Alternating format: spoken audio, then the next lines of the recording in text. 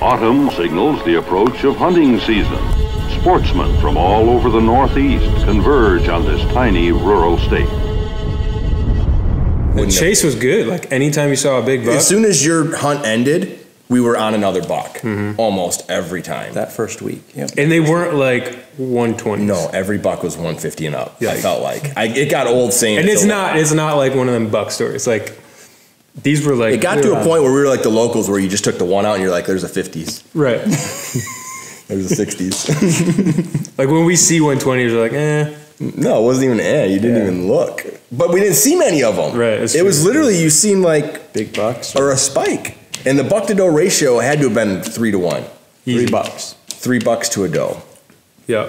And like And that's the what two of the us up. bucks were shooters always. They're Yeah, like and what must that's what messed us up a lot though is the amount of satellite bucks they have.